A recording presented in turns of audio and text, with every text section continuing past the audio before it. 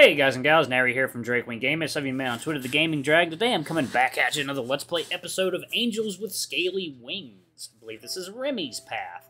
So y'all, before we jump into it, I want to let y'all know that I'm now an affiliate with Green Man Gaming. What that means is there's going to be a link in the description of each video. You go to that link, you click on it, you go to their website, you buy games, you get awesome discounts on all the latest and greatest games, and I get commission based on whatever y'all buy. So y'all feeling like buying some cheap games, use my link. I'll get credit. And anyway, my uh, lovely girlfriend Elle is an artist, and she's taking commissions. I have her commission info and links to her social media accounts in the description. If y'all looking to get some art commissioned, I highly suggest throwing some money her way, or at least looking through her gallery and uh, gauging her style and her quality. Anyway, let's go ahead and jump right back into it, shall we? Please sit back and enjoy for the next uh, 16 minutes while entertaining you. Let's jump right in. Alarm Chan, you are up, and let's go. Let's get us some dragons. Alright, so apparently I can meet with everyone. So, uh, let's do it. Okay, let's meet with Anna. Walk, walk, walk, walk. She told me to meet her here, so she's got to be around somewhere. The production facility had many different wings, covering everything from research to processing, in addition to production. It was easy to get lost if you didn't know where you were going. I heard some commotion in the distance, and when I approached, I was surprised to see not only Anna, but Remy as well. They seemed to be in the middle of a heated conversation. I thought it would be inappropriate to approach now, so I remained several paces back, out of their field of vision, but still close enough to be able to make out their words. We've we have heard rumors. So you come to me on the basis of rumors. Is that how you operate? What do you want from me? This is not the first time you've been in trouble, you know. I might not be so lenient with you this time. I don't know what you're talking about. Considering this is a warning, you should proceed carefully for your own good. If you wanted to threaten me, the least you could have done was to send someone more intimidating. You may be larger than I am, but even I can see that you're just a big coward. You wouldn't dare put your dirty claws on me. I wouldn't. I'm here as a courtesy to you, not to threaten or intimidate. Do with that information whatever you wish. Uh, you know we'll be back, and if they don't, and if they find anything, there will be consequences. Do you think I care? This attitude of yours is not helpful. Neither are you. Well, uh, somebody I came here to say, good luck. Whatever. Remy returned to leave and started walking in my direction. I ducked behind a pillar, and when he went past, I wasn't sure if he'd seen me. Either way, he left, and I was safe to approach now. Hey, Anna. Hey, Keegan. Wait, how long have you been here? Not that it matters much anyway. This is just on this is just par for the course for me. I know Remy. What's the problem? The nerve of that guy. He probably wouldn't be so uptight if it wasn't for that thing with his girlfriend a few years ago. But I don't care about him. It's his superiors that are the problem. They don't like me and the research I'm doing. They cite their traditions and values, claiming that those are what has kept us alive for so long. If anything were to if anything were to change, it would obviously fracture the base the society is built on, causing it all to collapse, tear apart families, and all, all hell to break loose. At least if you believe those old timers who keep repeating these phrases. And all that nonsense because of my research. Valuable research that could save lives, mind you. What kind of research are we talking about? I could show you sometime, but we're here to have fun, right? I thought you wanted to show me, since you said we were both in biology and all that. Sure, but after doing this all day, you'll have to excuse me for not for not wanting to talk about it even more. Wasting my time with that guy was just another setback. Not that I don't already have more than enough work to do. Even right now, I'm supposed to be working overtime. Guess you can give me the tour some other time, then. I will. Oh, and thanks for the blood, by the way. The results aren't in yet, but I'll let you know when they are. Good. I'm just as curious about the results as you are. No, you aren't. I am. I am way more curiouser than curiouser, curiouser than you. Curiouser than you. Is that even a word? It is, since an author popularized its use where I came from. Then I am way more curiouser than you are. Not if I am curiousest.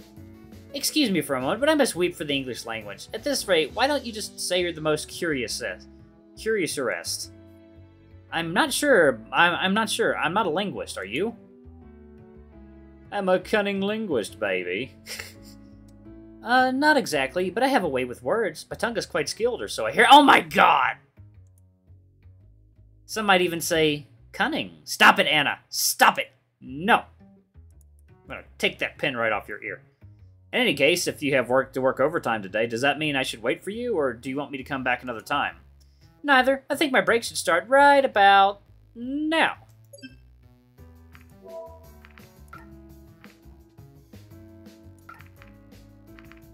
Perfect timing there, actually. Let's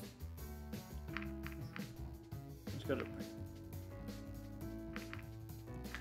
Hmm. It is, isn't it?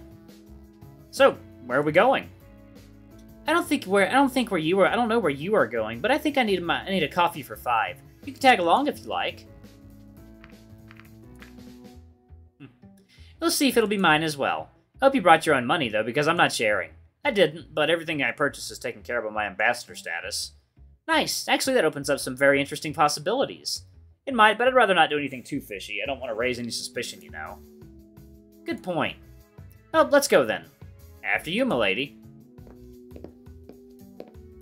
That comment about her tongue, Jesus Christ. Not very subtle. There we are. Finally, I can't wait to get some coffee into my system. Oh, hello, Keegan. Nice to see you again. Hey, who's your companion? Can't you just take my order? I apologize. Let me try that again. Welcome to our establishment. My name's Adine. I'll be your waitress today. What can I bring you to? I'll have a coffee. Thank you. And what can I bring the esteemed gentle person on the other side of the table? Bring me a beer. Uh, I'll take coffee, please. No problem. I'll be right back. What's her problem? I'm here to order something, not chit-chat with the employees.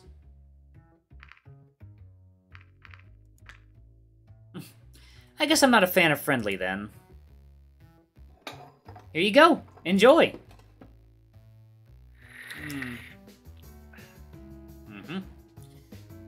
Ah, I totally needed that. So, you work in that facility? And your point is? What's your job there? I mean, what do you do exactly? We do all kinds of things. The truth is, we just have all kinds of specialized machinery there, which is used by many different people for many different purposes. The building is owned and run by the council, who oversees the schedule. It's quite handy since you can go from research to, to testing and even manufacturing all in the same complex. I started out as a researcher in biology, which is still my main job, but I've been there so long and learned the ins and outs of the building so well that eventually I was able to I was asked to take over some managerial duties.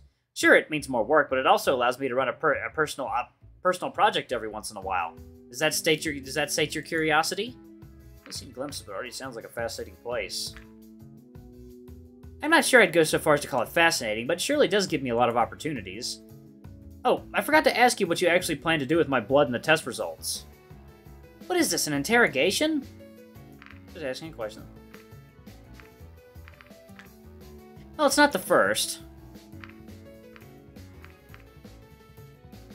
Excuse me, princess.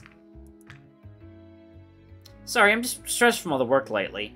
I'm not getting much respite between my regular work, overtime, personal projects, and other disturbances like that Remy sticking his nose where it doesn't belong.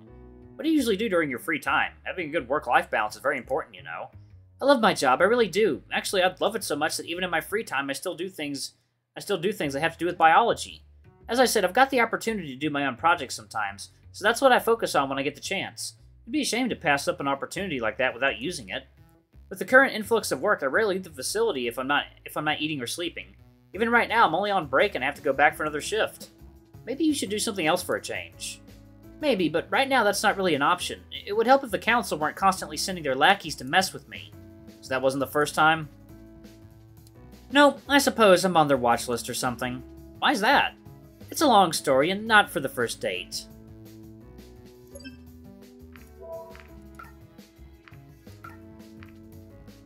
Mm-hmm, date, huh? So you're saying this is a date? No, I'm saying that even if this was a date, which would be more than whatever this is, it wouldn't be very appropriate. Stories about work aren't very romantic. You know, it's always, always, it's always about work with you. Come on, you're on break. Maybe we should do something to take your mind off that, off, off all that for once. Like what? I'm not sure. Do you have any other hobbies? Not really. Hey, waitress. How can I help you? Do you have anything here to entertain your guests? Any games or other distractions? I'm not sure. Let me go check. What exactly are you trying to do? Just wait and you'll see. Anticipation is killing me. Actually, no, it's boredom. It's more for the kids, but we don't really have anything else. It's fine, thank you. Have fun! A board game? Really? I know it's not, I know it's not Niski's Textile Merchant, but I suppose it's better than nothing. Textile Merchant? Nizi Nizki? It's a game. Uh, never mind. Well, I'm not convinced that this will accomplish anything unless your goal is to make me regret this day. It seems to be a trivia game. Do you have a good general knowledge? Do you even know what kind of advanced knowledge I have to memorize and work with every single day? You bet I have a good general knowledge. Certainly more than enough to beat a foreigner like you. If you're so confident, maybe we should make a bet. What do you have in mind? Let's say I win. I'll get to go on a real date with you. No fitting me in during your break, no complaining about everything, and no acting as if you're doing me a favor, especially because it was you who wanted to meet me in the first place. And if I win, I'll have you come in sometime so I can run more tests on you. Let's do this then. Since it was your idea, it's only fair that I start. So how does this work? It seems to be pretty simple. We take turns drawing cards and asking questions until we've both asked a number that we agree on beforehand. Whoever gets more right in the end wins. How many questions shall it be then? How about five? Let's make it three. Not sure how long this will take, and my break won't be for too long either. Alright, go ahead then. I saw mischief in her eyes, her stare piercing, paired with a hint of an arrogant smirk that exposed her anticipation. She seemed confident that she would win and loved every second of it. Slowly, her hand went over to the deck of cards and drew the topmost. Oh, round one. Oh. Who is cited as one of our most important historians, his work spanning over 20 books, credited with mapping out our entire history since the beginning of sentience. I'm going to be cheating and doing this. I, I want to go on that date with Anna. Uh, Hazik Akil. How could you even how can you even know something like that? You've only been here for what, a few days? Hmm. Maybe. Let's see how you fare your, with your first question. Bring it. How far can you walk into the woods? Only until the middle. Anything after that, you're walking out of the woods again. You're right. That's a that's a rather weird question, though.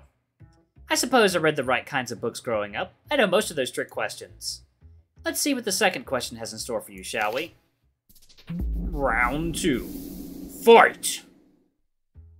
Alright, if there are five apples and you take away three, how many do you... Um... Really? No, you see, it's a trick question. Three is the correct answer. Because... Ah! Oh, you, you, you, you, you bitch. Three. Hmm, I guess you also know your trick questions. Apparently so. Okay, here's your question. In which year of our timeline did we gain sentience? Zero. The beginning of our timeline marks the event when we gain sentience. One second, y'all. Water time! Okay. Right again. Have you played this game before? It's a children's game. These questions aren't really a challenge. I'll just go ahead and draw the next card so we can end this. Round three. An adventurer who values his life has to choose between three rooms to cross. Which one of the following would be the safest? Number one, a room filled with poisonous gas. Number two, a room filled with 100 highly trained assassins. And number three, a room submerged in water filled with alligators that have not eaten in eight months.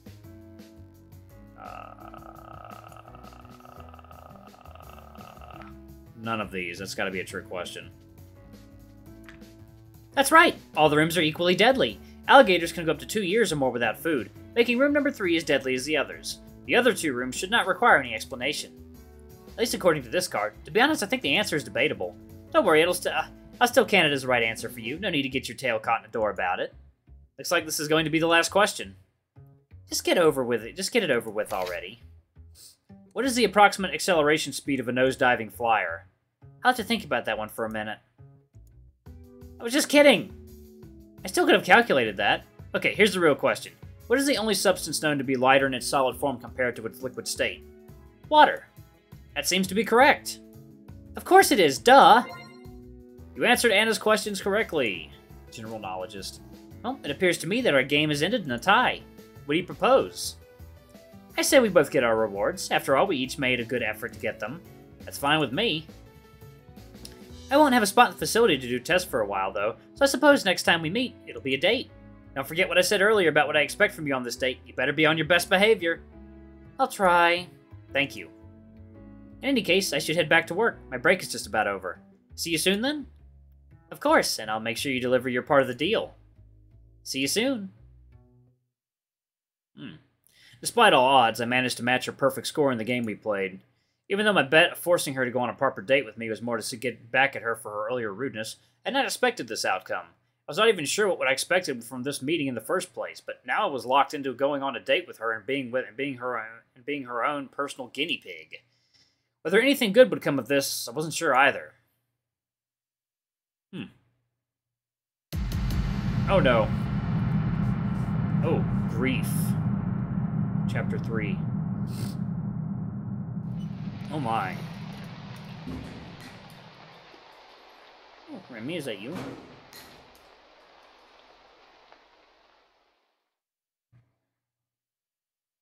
Hmm.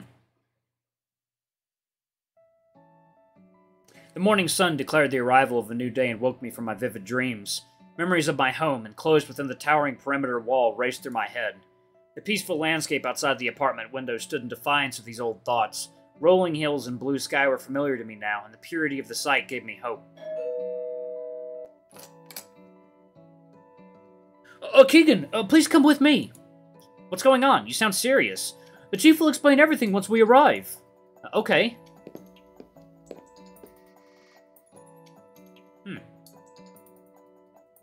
Hey, Chief, uh, Keegan is here. Thanks, Sebastian. You can deal with the situation here while I talk to Keegan, alright? Of course. Keegan, I've got some really bad news. Hell, well, what is it? Whoa.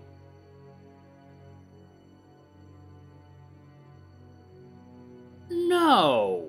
They better not have killed Anna. She's my she's one of my love interests.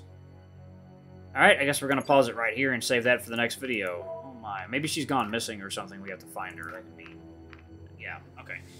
Alright, y'all. Alright. Anyway, uh, thank you all so much for watching. Don't forget to like, comment, subscribe, ring that notification bell. Leave a super thanks or a tip if you can. It always helps. Until the next video, I love you all. I'll see you next time. Bye-bye!